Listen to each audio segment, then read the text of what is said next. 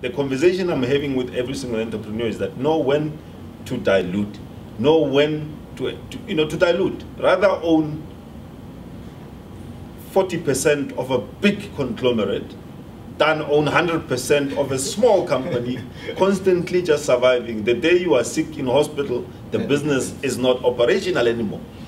Those are our biggest problems. That's because we don't understand why there's AltX, alternative exchange. That as small entrepreneurs, we can actually go and inquire the JSE and say, what is, what does it take to list on the exchange?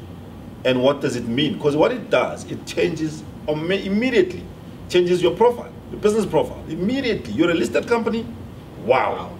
It just changes your, your profile together. And, and you can do so many things with, with that listing. I mean, that's how Facebook was listed. It listed quickly. And boom, it, it, it, it grew in value. That's how you unlock value, through the listing.